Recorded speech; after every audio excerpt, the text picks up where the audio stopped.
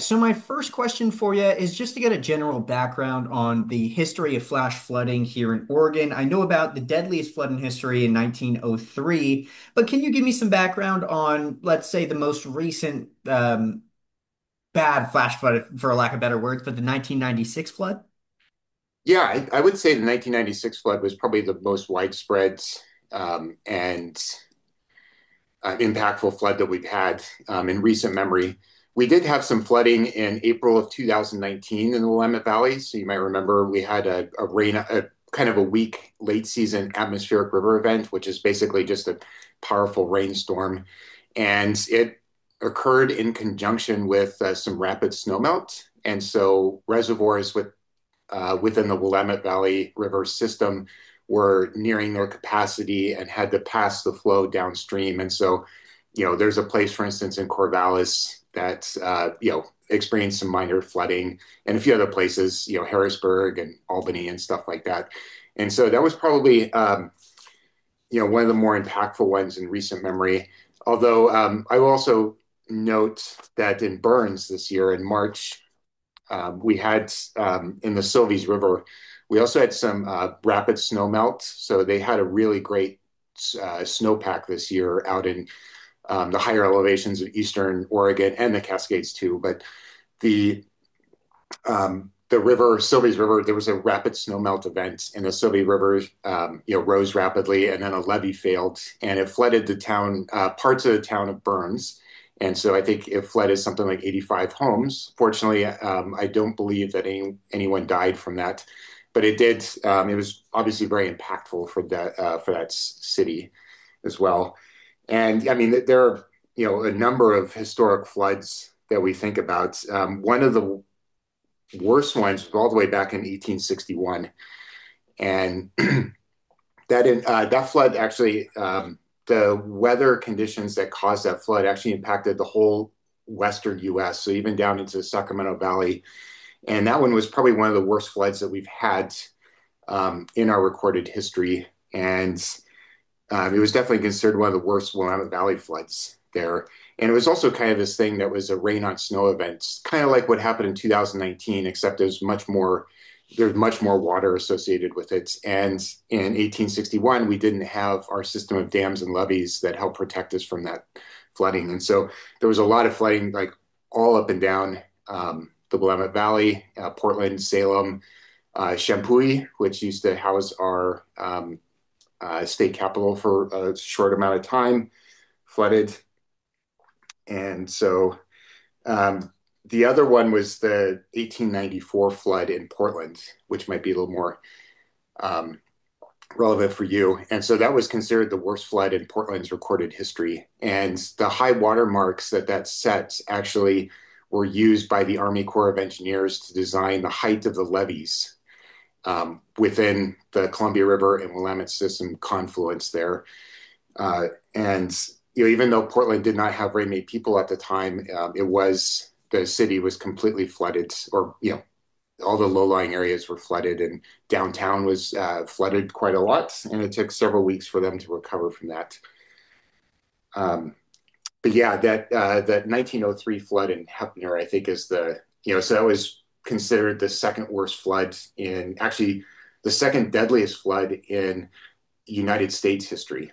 Um, so 247 people died, and um, yeah, so and that one is actually caused by something quite different. So in Eastern Oregon, um, we have had flash floods that are not too much unlike the one that happened in Texas recently, where you get this uh, thunderstorm just a, this incredibly juicy thunderstorm at the right place at the right time. And so there are cities and things in Eastern Oregon, small towns that are in steep canyons alongside a creek, which serves as a water supply.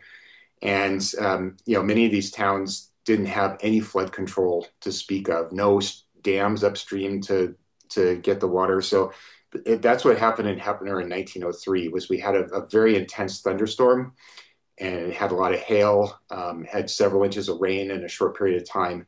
And there, uh, and and at that time, there's no warning system. There are no telephones. There's no way to get the word out that this was happening. And so, um, yeah, and so it uh, was one, and it still remains the worst natural disaster in Oregon's recorded history. And so obviously it was 1903. There was no way for them to warn people. But like, if that situation were to happen in the near future at some point, especially over in Eastern Oregon with those, as you said, those juicy, those large thunderstorms, um, what would the emergency response be in that point? Do, would they be sending out a flash alerts basically saying like go to higher ground? How is that conveyed now compared to obviously when there were no alerts back then? Yeah, so we do have an alert system. I, I mean, the big one of the biggest um, things that we have now that we didn't have 100 years ago is the weather service. And so they are, you know, 24/7, 365 days a year. They look out for conditions like this. And as best as they can, they try to anticipate this and to give whatever warning is possible. So even a few hours or something. And so they will issue um, either flood watches or warnings or flood emergencies. And those messages are supposed to go to local emergency management officials. And so that can include anyone from the sheriff's office to uh, county emergency management offices or city, um, you know, whatever emergency management structure is, is in a lot of these places. And those uh, officials have emergency management plans. And so if they anticipate a flood like this, they will initiate a series of things. So um, obviously you want to, um, you know, stage uh, rescuers. You want to get the word out. Um, also, what happens is that when you get these flood warnings or flood emergencies, is now we have cell phones, and um, if you've opted into it, they can provide those emergency warnings to you. And I highly recommend people opt into that um, into that structure. You know, even though you might get, a, you know, there's it's possibly a false alarm, but I'd rather have a false alarm at three in the morning than no alarm and uh, and have to be evacuated or whatever. So that's what's um, that's what's happened in place now, and you know it's because um, we don't get these events very often. People are kind of rusty at it, and sometimes you don't know what to do when it happens, and so that's always an um, a struggle with trying to warn people of you know emergencies that have a high likelihood but maybe not a hundred percent chance of happening. Um, yeah. So, so I do want to ask, um, what areas are, are most prone to those flash floods here in Oregon? I know you were talking about Eastern Oregon, but also here over in Western Oregon too. Where are the most prone areas, and what causes a lot of the weather events that trigger these fl flash floods? Yeah. So there are a variety of so I'll start with the weather events and then I'll circle back to where the maybe some vulnerable areas are. So the weather events that typically cause most of our historic floods, um, you know, uh, the worst ones are probably caused by you know what we call atmospheric river events, and these are you know basically especially juicy rainstorms that come in off the Pacific, um, oftentimes during the winter or spring, and usually the most impactful um, atmospheric river events occur during a wet year. So the ground's already saturated. There's a lot of snowpack in the mountains. And so you're basically raining onto a landscape that cannot um, soak in that water. And so it just runs off freely. Uh, atmospheric river events are also typically warmer than normal storms. And so, you know, you get these um, way above freezing temperatures high up in the mountains where we have a lot of snowpack. And so if that combination, that warm rain onto a snowpack can rapidly melt it and send that water downstream very fast. And that's, um, you know, probably one of the, you know, the things that are the most worrisome or, you know, the, the kind of system that we expect most of these flash floods. Um, we also get um, increasingly now because we have so many more wildfires, there are a lot more um, patches of, of forest and things up in the mountains that cannot soak in the rain as well. And so those um, areas will experience more runoff into the nearby streams and creeks and low-lying areas. And so typically when it rains a lot, you know, the ground soaks some of it in or it slows it down. This slows the runoff down so that the rivers or creeks don't rise as rapidly.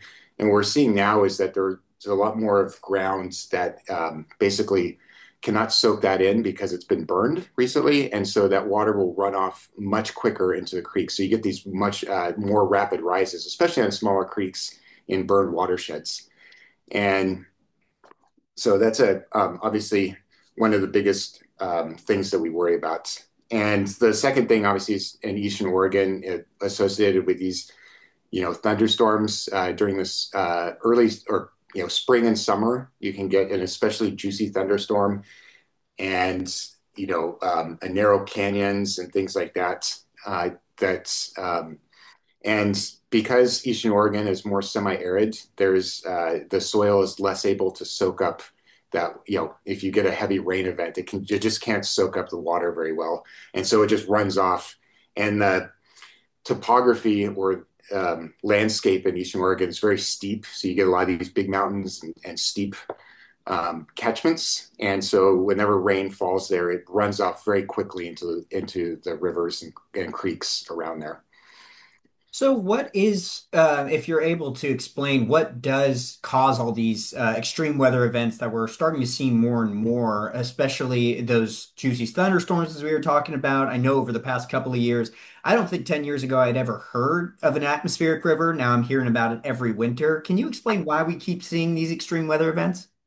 Yeah, so uh, I mean, a lot of it is just natural variability. So we've experienced these sort of things in the past um, as part of our natural storm cycles and you know we get these like you know slow uh, slow time period um, cycles too in um, our storm events. So we'll have like years where it's really wet that tend to cluster together, and then years that are really dry that cluster together. And that's always been kind of a part of our natural um, cycle. However, um, we are starting to uh, see in his, um, in our observational data that the heaviest rain events that we do get are tend to be heavier than they used to be. And this is a consequence of climate change. Um, so as the globe warms, the air is able to hold more water, uh, water vapor. It's able to hold more moisture, and that gets released in uh, by in, in, storms through rain. And so um, some of these storms are, you know, maybe have they may have occurred like they have in the past, but they're just uh, more juicier now, if you if that term sticks with you.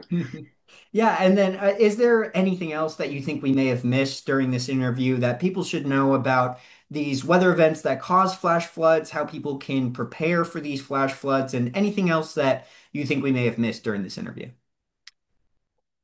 Yeah, so you know, flooding is kind of a, a hazard that we've always had to endure in Oregon, um, and you know, in the Willamette Valley especially. The um, you know, some of our worst events have occurred decades ago um, when our flood control system was not as prepared to deal with that. And one thing to note is that, you know, we do have a better prepared flood control system at this time than we than we used to, and so that's part of the reason we're not seeing very many deadly uncontrolled floods um, or floods in general like we used to.